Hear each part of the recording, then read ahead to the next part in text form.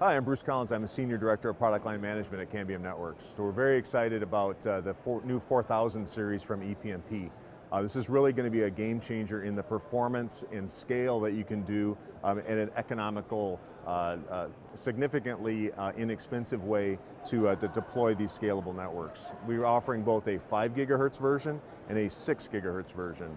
Uh, the 5 gigahertz version, again, is multiple gigabits per second in a sector, and you can now offer, start offering your subscribers 250 meg packages, 500 meg packages, even 1 gigabit per second packages using 5 gigahertz. We're also very excited about 6 gigahertz as new spectrum that's going to become available in the US uh, sometime in 2023. We have products today that our customers are trialing and testing using experimental licenses.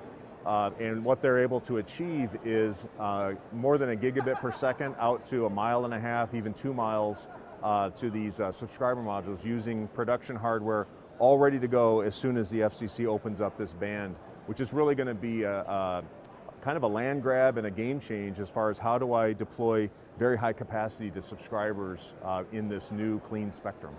So a couple things that are very important to, to, think about when you look at the six gigahertz product from Cambium. One is that we cover the entire six gigahertz spectrum. There's some legacy products out there that kind of use some older technology that taper off at 6.4. Uh, we've, we've created this product using the latest generation chipsets. They give you full power all the way through that six gigahertz spectrum.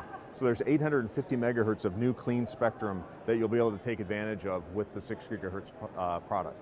So I'd encourage you to take a look at uh, our website. You can learn more about the 6 gigahertz uh, product line, the ePMP product line, what's happening with the 4000 series.